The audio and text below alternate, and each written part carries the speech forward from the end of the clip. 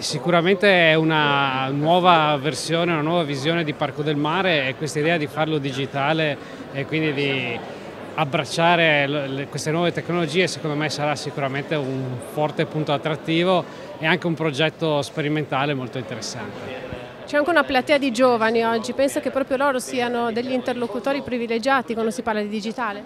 Eh, sicuramente e probabilmente anche degli impiegati eh, privilegiati di questo parco, speriamo.